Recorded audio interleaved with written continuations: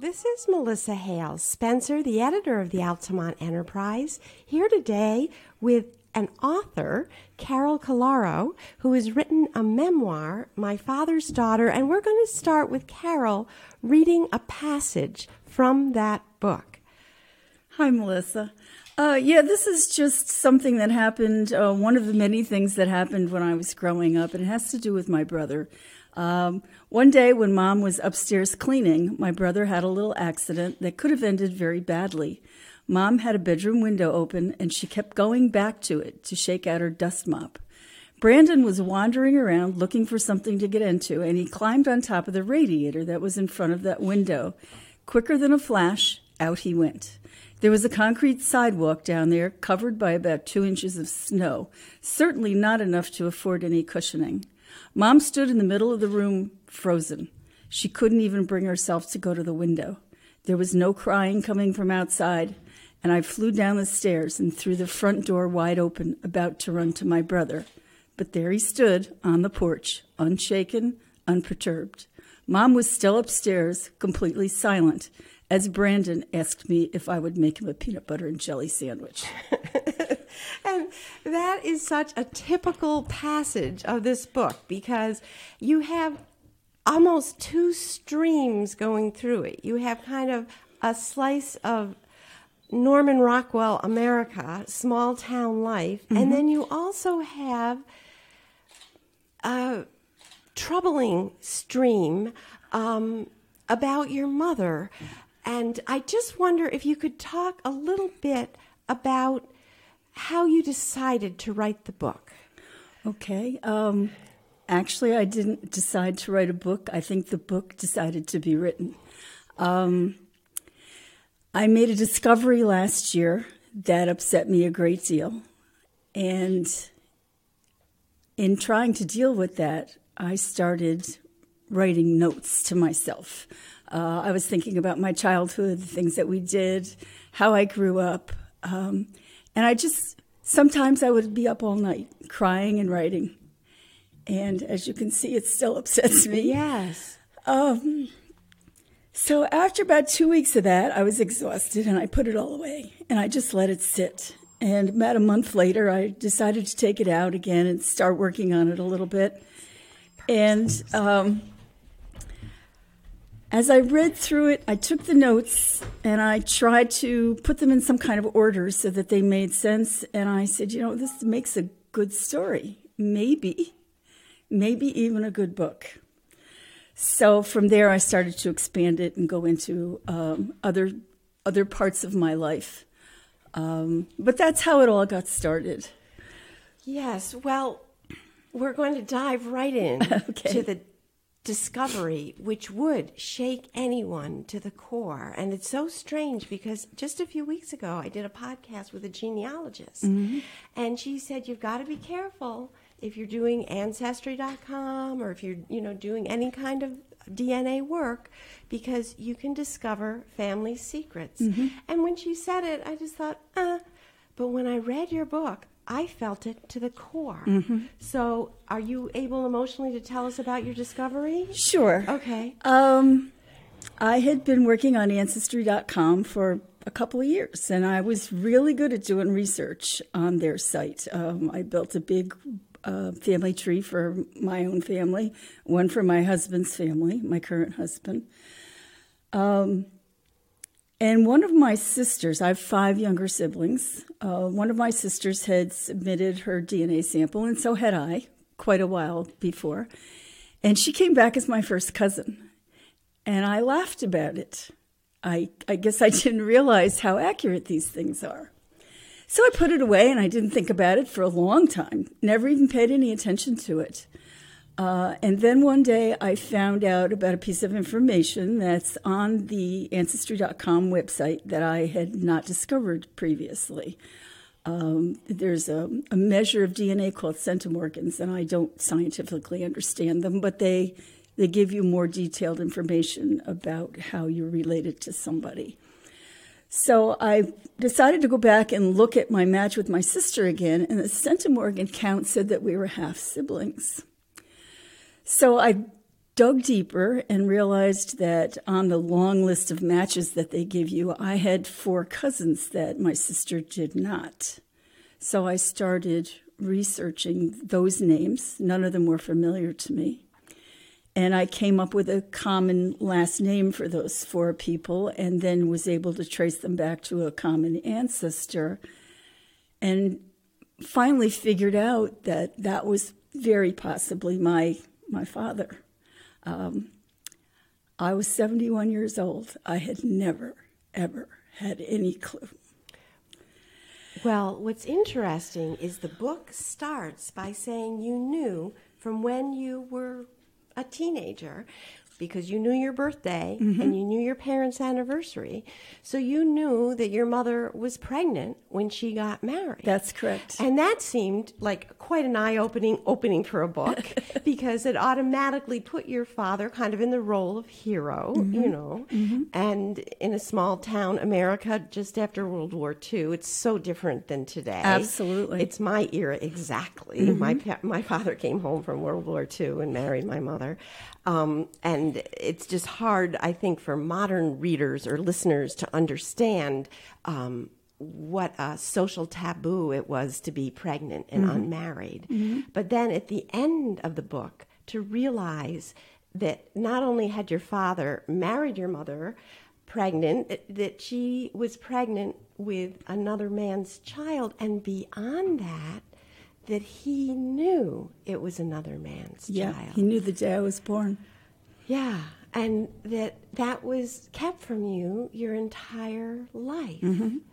And it made me feel like rereading the book when I got to the end, which is why I talked Carol into telling this revealing fact first, because that passage that you read at the opening of this podcast is very typical of many experiences that you portray in the book, where your mother, um, you you almost were like a mother to your children or to her children in yeah. some way as uh, the yeah. older sister, mm-hmm. and not just you know seeing who fell out the window, which is very dramatic, and you can imagine any mother seeing, but things like helping your much younger sister get ready for a dance mm-hmm. and your mother saying a very derogatory thing about it, where you were there braiding her hair or fixing her up and sort of providing the love. Mm-hmm. And after I read this, it made me rethink the things I had read about your mother. Did mm-hmm. it make you rethink the things you had felt about your mother? Well, I, I rethought things a million times. Yeah. Um, yeah, and, and at the end of the book, I start to talk a little bit about realizing maybe some of the reasons my mother did some of the things she did. Um, because I never thought about those things before. I, I didn't know about my dad, uh, that he wasn't my father. And so I just always thought that my mother was a nasty, hateful, spiteful person. Um, but now I know that there's probably something else that um, intertwines itself into that, and that's this terrible secret that she had to try to keep from from me, from her family. I don't think her family knew, even though I was born five five months after they got married. I, I, certainly they must have suspected, but that back then, as you said, people didn't talk about that stuff. Mm-hmm. They just kind of put it on a shelf and shut the door. Um, I don't think my mother's family ever knew, but my father's family all knew, and I found that out from my dad's brother, who's still alive. That yeah, they, well, tell us about that scene in the book. You drive up to tell them, thinking yes. you're going to be surprising them, and yes, they're uh, they're both in their mid nineties. Um, he's the only surviving brother. My dad and the younger brother both died from ALS. Um, and this this uncle I never really knew very well when I was growing up because my mother didn't allow us to spend any time with my dad's brothers or their their wives or my cousins. And that might be because she knew they knew the secret. Exactly, exactly.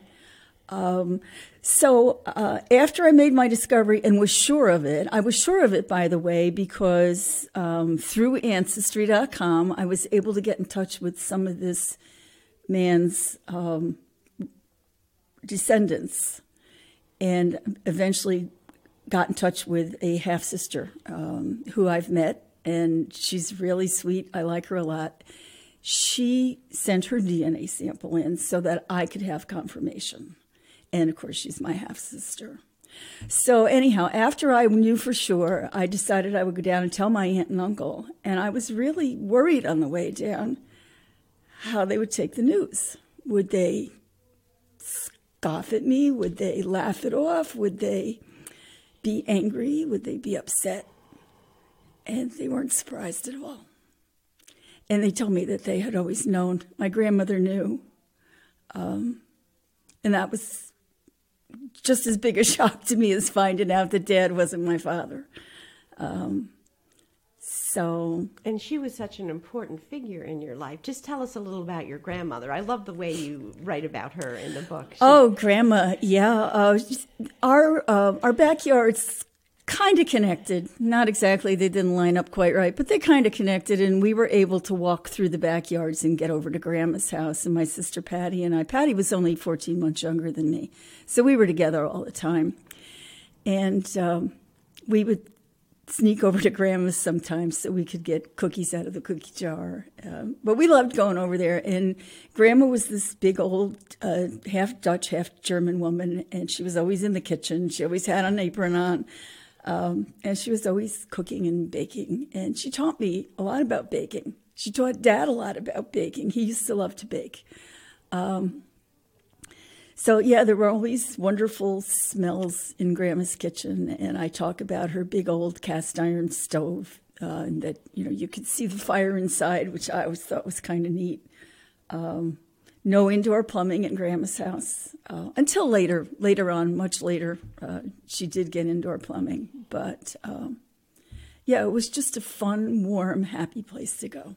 Well, just the way you describe the town that you grew up in, a small town on the Hudson that mm-hmm. not named in the book, mm-hmm. and it it just seems in some ways like the quintessential American life, you know, the kinds of adventures you have, even like when you're hurt sledding, it, it's still sort of like a rough and tumble childhood, but one where you're well loved, mm-hmm. and even like the way you describe your vacations in this kind of beat up old trailer. Yeah. And, um, but then there's this current going through it. Mm-hmm. Um, sometimes in the early days uh, that you describe, it seems like your mother is what you'd expect of a mother. You are maybe singing a solo of a second verse of a oh, Christmas oh, yeah, carol, yeah. which mm-hmm. also isn't named, and her smile kind of carries you through. Mm-hmm. But then you get these little hints or beyond hints like the, the passage that you read us at the opening mm-hmm. and just how you navigated that as a child is interesting to me you were an adult before your time yeah absolutely yeah yeah um, I tried always to model myself after dad. I knew I didn't want to be like her. Um, I wasn't always successful. um, but I think that's kind of what got me through um, was just knowing how dad would react to situations. And he just always did the right thing. Um, it was that simple. He, um, he was very good and very honest um, and very easy to get along with. Uh, and you make a point. There's one passage I marked some of these, but it, it's about how he never had to physically punish you. What the?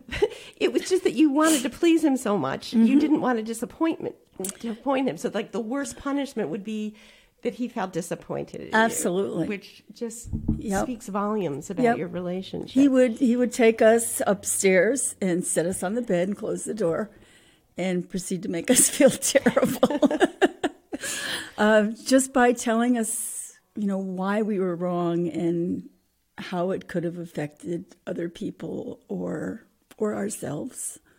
Um, well, another stunning thread is just his extreme devotion to your mother. In the some of the like the teenage years where you're suspecting i think you call him a yokel local police chief yeah. you know your mother is flirtatious with him mm-hmm. and you don't see why your father doesn't get angry and he'll say oh she has green eyes you yeah know meaning she's and lets it go and then she ends up with multiple sclerosis mm-hmm. and he becomes her nursemaid exactly. for years, but never seems to resent it or to uh, bristle at it. How, how do you just explain or describe the, the relationship between the, those two? That's one thing that I truly don't understand. Um, Dad never seemed to think, uh, never seemed to see any of the things that my mother did, whether they were to somebody else or to him. Um, she just plain was not nice, and he he somehow just let it all float away like it never happened. It was infuriating, infuriating as a child um, because we would get so angry with her, and he would just say, uh, "Let it go don't make your mother angry, um, don't rock the boat. He had all these sayings, and you know, as a kid, we wanted to be mad when we were treated like that. Um, but yeah, from the time they were in high school, they were high school sweethearts. Um, he went into the Air Force at a very young age, right out of high school, and um, left her home. She uh, they were engaged before she graduated from high school, and um, and that's when she got out of school and got a job. She had a job only for two years in her whole life. Right, and that's where she met the man that and was your biological. That's father. where she met him. He was twelve years older than her. Um, it was a name I'd never heard. I I don't know. One of the things that um, drives me crazy is did Dad know him? Because we lived in a small town, and he was not from that small town. He was actually from Albany Wait, Wait the, the biological the biological father, father was from Albany. Um, but in our small town, if if mom knew somebody, dad would most likely know him too. I mean, that's mm. just the way it was. Everybody knew everybody. So um, it, that drives me crazy. Is this somebody dad knew? Um, and I can't find out the answer to that question. I did show a picture of him to my aunt, and she got this little smile on her face, and she said, I met that man, but she doesn't know where or when. Uh, she's sure she's seen him before. And he's dead now. Oh, yes. Mm-hmm. Yeah. yeah, he's gone. My Both of my parents are gone, so. Well, another part of the book is it centers, of course, on your father, but it's up on your own marriage. Can you just talk a little about that? And oh, yeah, that was great. but you included it in the book, so it's part of the story. Um, I wanted badly to get out of my parents' house. When I was about to graduate high school, I was trying to figure out what I was going to do with myself. And we didn't have any money for college. I was a very good student. Um, but college just didn't seem to be in the cards for me so I I got a summer job and uh, took a test to get a job with the state. And uh, while I was waiting that summer, I, I met this guy. His name was Don um, at snack bar where I was working. And I ended up marrying him very quickly. I actually didn't even know him all that well. We went out on a couple of dates. Um, and he had a very fancy sports car. He had a very fancy sports car, and it was uh, the fourth one that he had. Apparently, I never saw any of the others. Um, his dad had been walking him to the store when he was eight years old. Um, they were hand in hand walk crossing the street, and they got hit by a car. And his father was killed instantly, and Don was hurt quite badly and was in a coma for a little over a week, I believe. Um, but there was a big court settlement that was put in trust for Don. Uh, and when he turned 21, he collected. And this was all before I knew him. He started to spend money like crazy. Um, and just about the time I met him was about the same time the money ran out. Um, so, yes, he still had this Corvette when I met him, and it was pretty cool. I'd never seen anything quite like it before. Um, and also the way you describe his Italian family oh. and you contrast it with your family. You know, people all sort of talking at once and yep. eating lots of pasta. yeah, he um he came from this this big, loud Italian family. Actually, he all of his siblings were half siblings. Um, there were he had five older half siblings. I had five younger. Um, but they were loud and boisterous, and they were always yelling at each other. And uh, I say in the book, I learned what all the Italian swear words were the good ones and the bad ones. the good ones and the yeah. bad ones, yeah.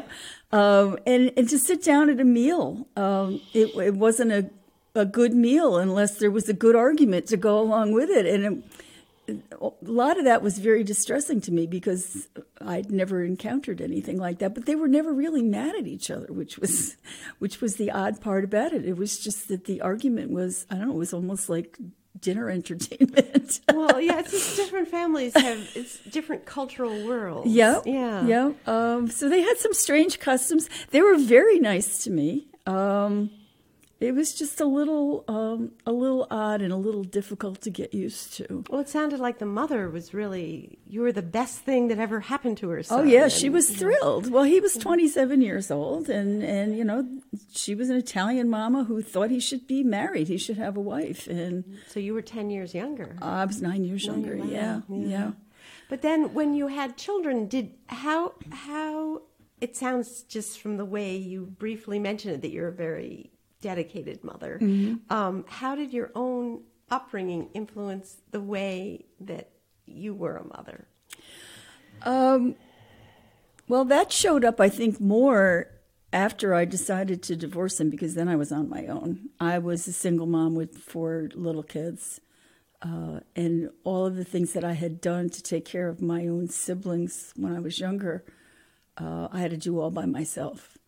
Um, so yeah it was having kids was not um, so, some people when they grow up without siblings um, when they have kids it's a it's a big huge change in their lives but this was not a change in my life i was always used to taking care of yeah you were like the mother too yeah of, yeah yeah so tell us about the book itself. Here it is. Mm-hmm. it's you can hold it in your hand, and it's got a great cover. There's um, like a background picture of a little child's hand holding a big man's hand. Mm-hmm. and then there's an inset with i'm assuming it's a picture of your father and you. It is. Yeah. And like what does it mean to you to, to have this in this form? Well i'm i'm a little used to it now but when it first got published which wasn't all that long ago um, I, it was just such a thrill. I was it was surreal. It was like, oh my God, I wrote a book.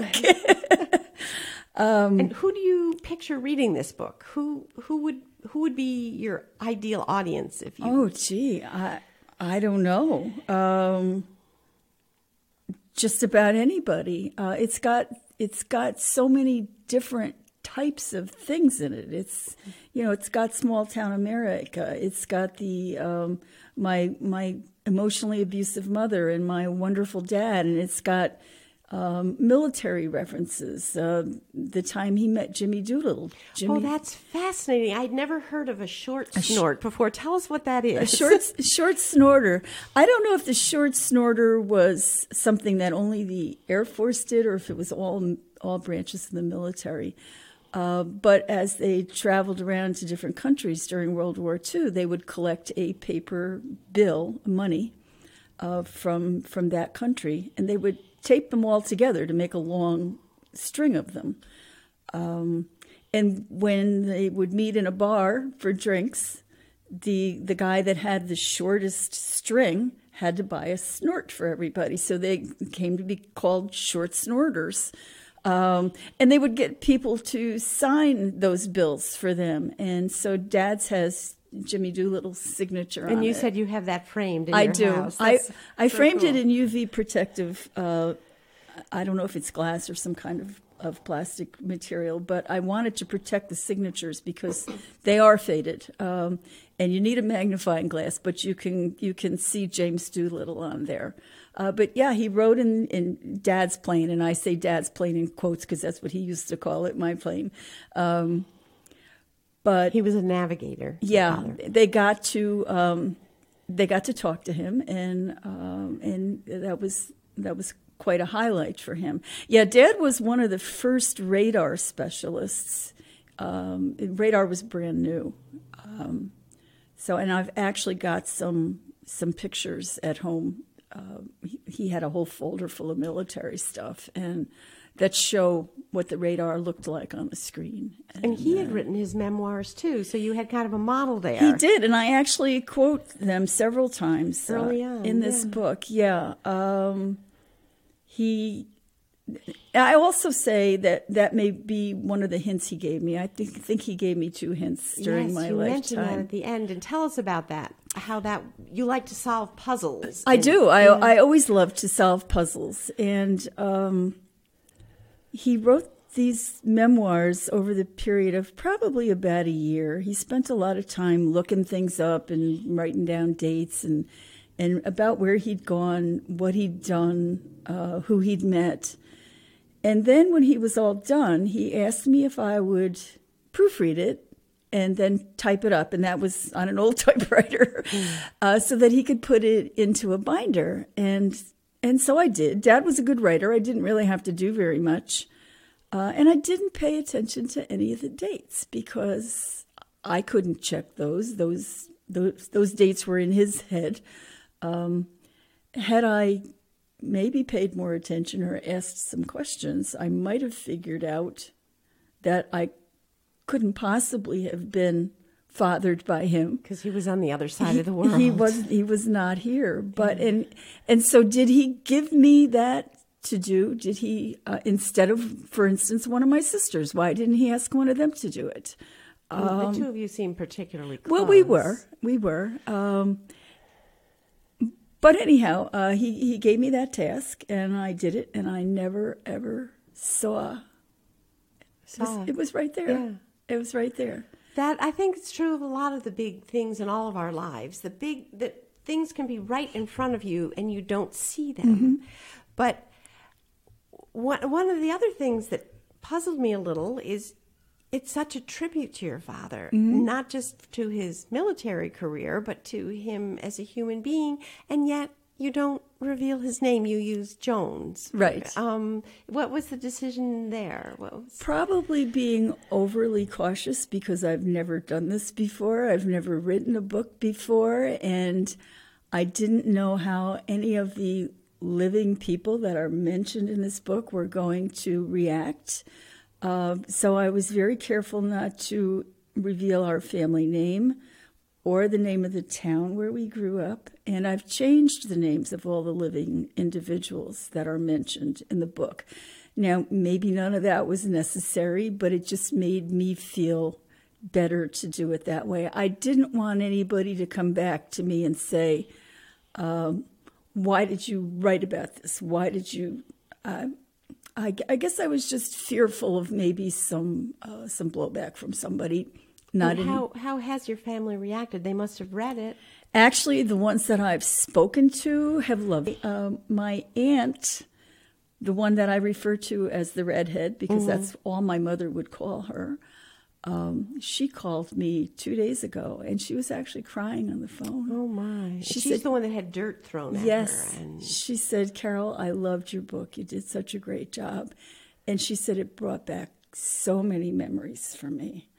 Um, so so far, it's it's all been good. Uh, I had one old classmate mate from high school call me, somebody that I haven't spoken to in a very long time, and she wanted to tell me how much she liked it, and she also said she remembered that incident about the accordion on stage where we switched, where uh, we we crossed hands, and I was playing his yes. keyboard, he was playing my keyboard. I loved that. She actually remembered that, and oh and she said, "I remember that." Uh, so that was fun too. Yeah. So well, our time has gone so fast. I wanted to mention you have an upcoming reading, don't you? I do. Uh, I'm going to do a reading and a book signing at the Altamont Library on Monday, May 6th. It's going to be from 7 p.m. to 8 p.m. I hope everybody comes over. I'd love to say hi to everybody. I will have some books there to sell. And for people that might not know, the Altamont Library is right in the heart of the village, on the village green in the old train station. Mm-hmm. So, do you have any closing thoughts for us? Any things we haven't touched on? There's so much. I, yeah, there's there's a there's a lot of stuff in this book. Uh, Why don't we go out the way we came in? Could you read us a final passage? Oh, sure. That would be great. Sure. Uh, you've read the book. Would you prefer the one about um, whichever the item? Okay, I'm going to read. Um,